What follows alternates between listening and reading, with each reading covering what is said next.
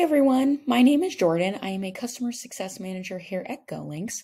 A question that I get asked a lot is Can I make multiple GoLinks for the same destination URL?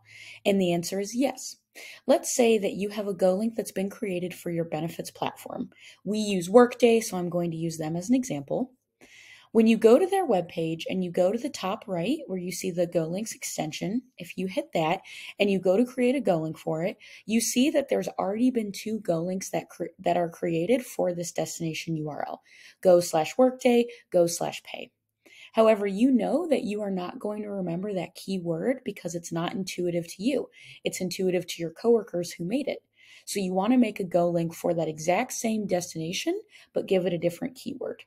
So we are going to do go slash paycheck because you know that that is a keyword that you are going to remember. When you hit create go link, what it will do is it will prompt you to the dashboard where it will come up here. That way you don't have to spend minutes looking for that Go link that your coworker created or asking them for that keyword, but you can make a Go link that is intuitive to you.